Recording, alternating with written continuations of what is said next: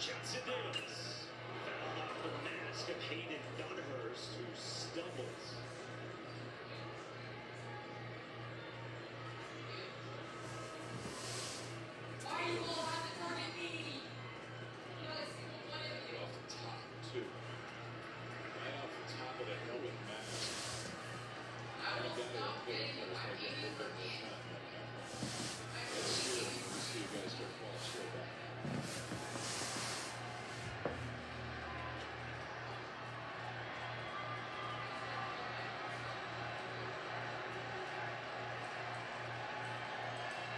25,000 here for this one in the College World Series Finals in Game 2.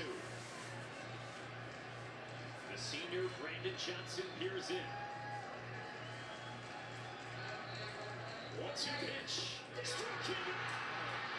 From last floor in to last team standing.